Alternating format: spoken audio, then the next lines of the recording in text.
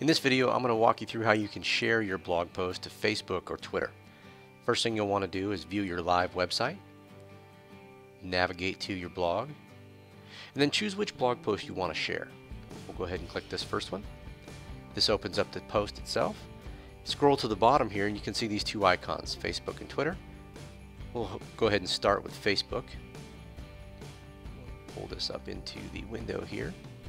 And you can see that I can uh, review the post. I can choose where I want to share it on my timeline, friend's timeline.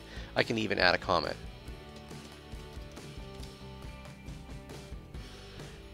Check out my new blog. Uh, bring this back into here. And then when I'm happy with it, I'm going to go ahead and just click post to Facebook. And that's it. Now for Twitter, same thing. Just click the Twitter icon. Again, I'll pull this back up in here. Now I can edit this post if I like. Uh, just make sure you keep it under the 140 character limit that Twitter uh, requires.